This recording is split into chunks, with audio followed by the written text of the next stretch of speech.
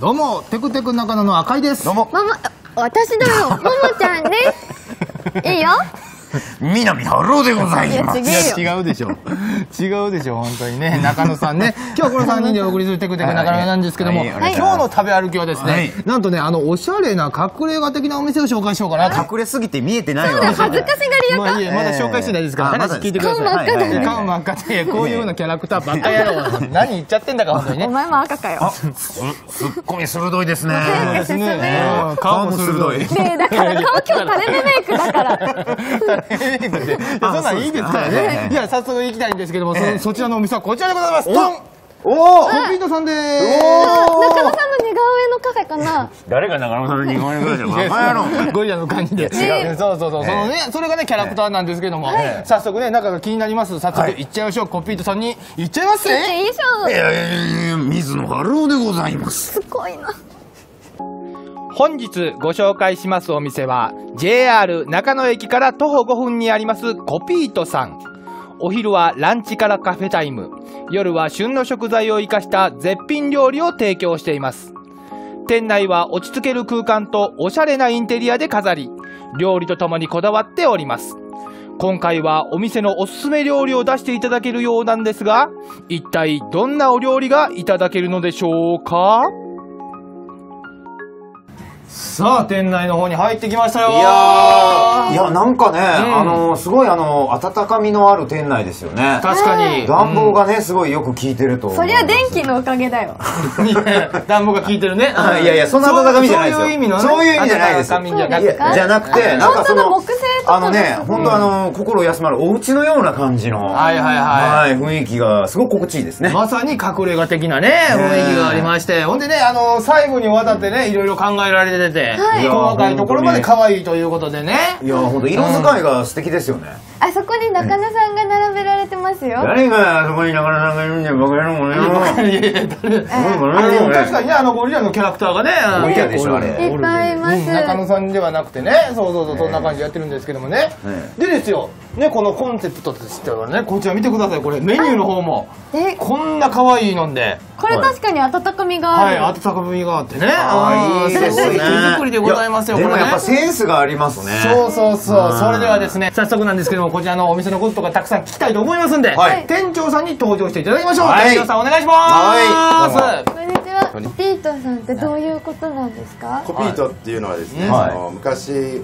えっとスペインの方で、はい。えっと白いゴリラがいたんですよ。白いゴリラ？はい、でそれが世界でまだ1匹しか生まれてない白いゴリラで、はい。なるほど。でその動物の名前がコピート・デ・ニエベって言ってかっこいいなはい、でみんなにこう。コピートコピートと呼ばれてる動物で、でその世界で唯一、はい。まあ、1匹っていう、まあ、珍しい存在で、うんうんうんまあ、生涯その大人気で人気者っていうことで、はいはいはい。その名前をちょっとあやかってなるほど。そういうお店にしたいなと思って。このお店にはコピートのバッグとかマグカップがはい。いっぱい小物もね、ね。ありますね。ね。ちなみにこのコピートのあのキャラクターはオリジナルなんですか？そうなんです。はい、えー、すごい可愛らしい。うん。なんかゴリラっこちらね。てすごい女子からすごい人気があるんですよね。コピート。はい、最最近そうみたいですそうねなの近よかったねイケメンゴリラ。いやいや誰がイケメンゴリラやねん。なんか嬉しないわあんまり。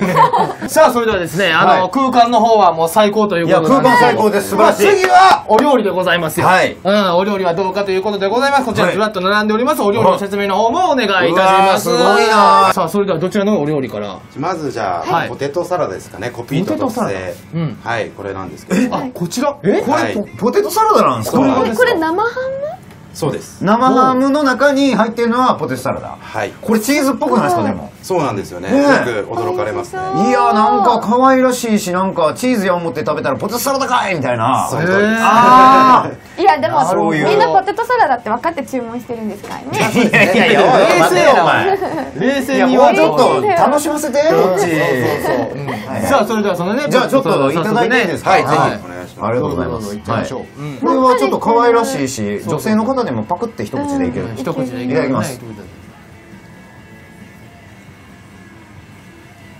ああチーズではございません。いや、そりゃそうでしょ。いや美味しい。確かにもうお芋だけですね。そうですね、うん。はい。ああ。え何かね芸やんないといけないんだよ食べたら。いやちょっとさっき感想。感想言ってからでしょそれは。ちょっと待って僕長年これやってますけど今日なんだろう。めちゃめちゃドキドキしちゃいますね。な何を振られるんだろうと思って初対面じゃないよね。なんか返しがさ今までにない返しするから俺ドキドキしちゃってさ。そうそうそう、うん、なんか傷跡残そうとしてるよね。なんかなんか知らないけど。なんだろう。やる気みなぎっちゃった。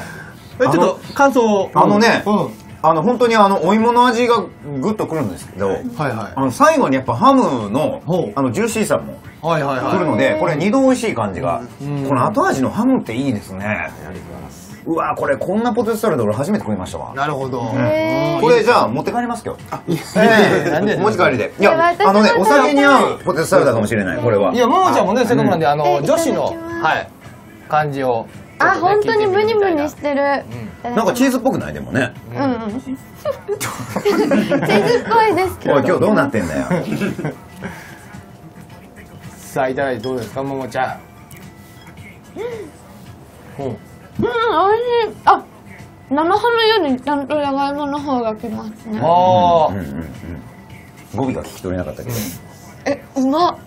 美味しいでしょ？あうまい、うん、え塩加減とかがちょうどいい感じでなんいやあかのねポテト自体に塩あんま入ってないんじゃないですね。あまり入ってかあんないまり入ってないです。だからその生あのねハムそれを生ハムがこうそうあのハムのあの味で全然あのカバーできます。なるほど、はい。これはすごいあのやっぱりよく考えた。あ素材の味で勝負するっていう、ええ。あんま感想も言えへんのにようパクパクいくなほんいまに。やそれだけね皆さん美味しいということですよ。ええ。しかなるほどもじゃがいもがすりつぶされてなくてちゃんとコツコツした。コメントは無視してください皆さん。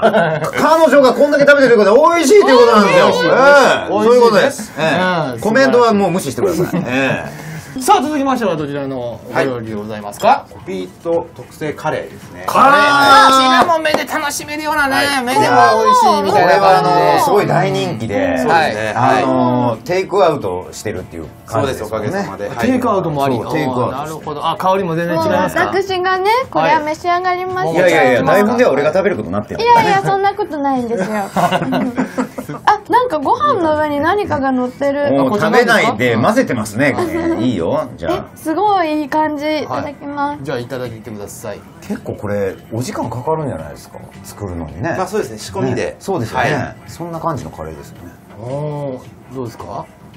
美味しいオリジナルですね。オリジナルですそりゃそうでしょそらそらなんかし既製品を使ってないですそうそうそうカレー屋さんそれ結構カレーのはい。カレーねバーモントカレー使ったらダメでしょお願い聞いて、はいはい。行くんですよ、うん。だけどルーにちゃんと肉が残ってる。なんていうひき肉？はい。ひき肉が入ってるんですね。ドライカレーとカレーって感じがしてなんかでもキーマカレーっぽい感じもしますね。そうですね。どちらかといえばね。うん。えええあのーベースとかは何ですか？何ベースとかあります？ベースはですね、はい。まあひき肉ベースなんですけども、うん。はいちょっと隠し味で、うんバナナなんですよ、えバナナ？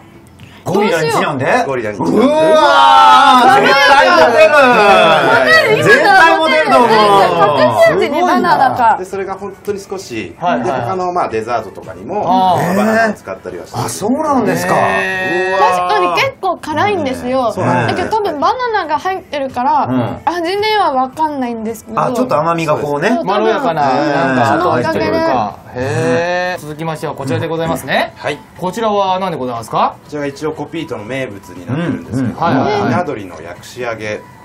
えー、宿りの薬師揚げ？丸薬師揚げっていうのはこのあの焼薬師通りからそうですね。出てる。はい。あはいはいはい。薬師揚げ。なるほど。はい。はい。うん。中野さん止まらないですね。あいやうまいんだもんだって。中野さんも次行っちゃってますよ本当に。戻っちゃいましたね。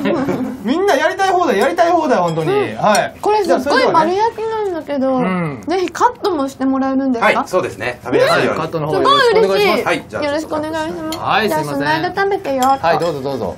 いやー美味しいですね。はい食べちゃうね。すいません。おめでとうございおーまありがとうございます。あーこれ食べやすい。ねこうやって切ってくれたらすごいどこ食べていいか分かりやすい、そうですねえじゃあ私、これここの食べやすいとこにしようかな、ん。スタン店長さんこれ贅沢な一品ですよね。そうですねこはい。れはじゃあちょっと僕硬いところ。硬いところ行きましょう皮ね。がねすっごい美味しい何の味だろう？いや鳥の味でしょ皮 あじゃあいただきます。はい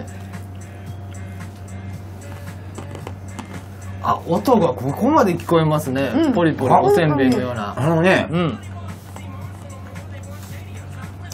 硬いだけじゃないですね、味がすごいあのうん。